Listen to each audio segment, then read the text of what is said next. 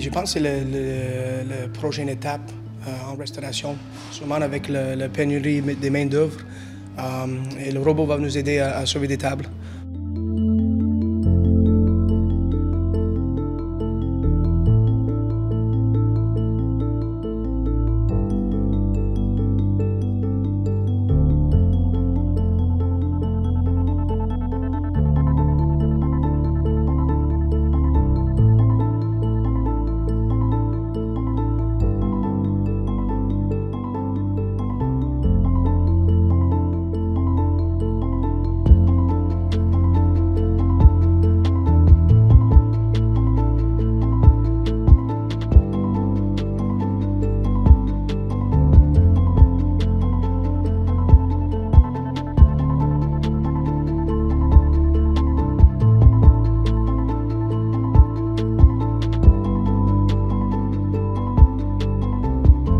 Nous avons rencontré beaucoup de restaurateurs qui nous ont dit enfin un répit.